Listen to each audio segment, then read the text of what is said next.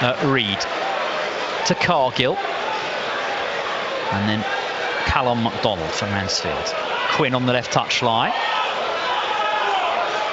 Inside to Lewis Reed, and he sweeps it back to Christy Pym, who wasn't tested by that free kick. The wall did its job.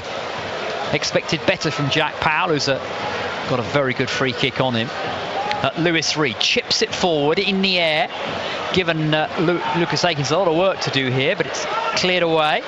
Aaron Lewis battling for it, headed forward uh, to Oates. Oates inside to Keillor-Dunn, inside the area. Keillor-Dunn shoots into the net!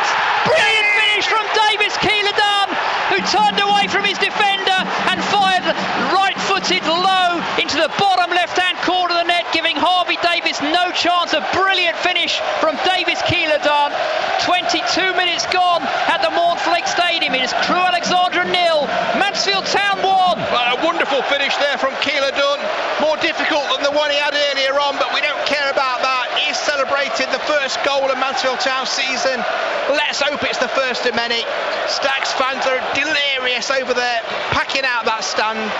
Wonderful finish. Back to the keeper Davis. Uh, wearing a kit of two different shades of green. Now Mansfield have won the ball back with Quinn here.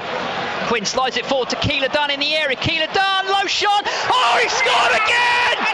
Brilliant shot from Keillor-Dunn out of absolutely nothing on his left foot into the bottom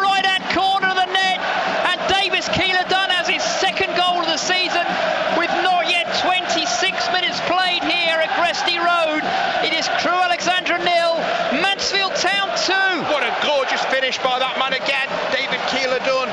Absolutely buried it. Harvey Davies grappling thin air. Stags fans again. Absolute pandemonium. We fully deserve that. That is clinical finishing.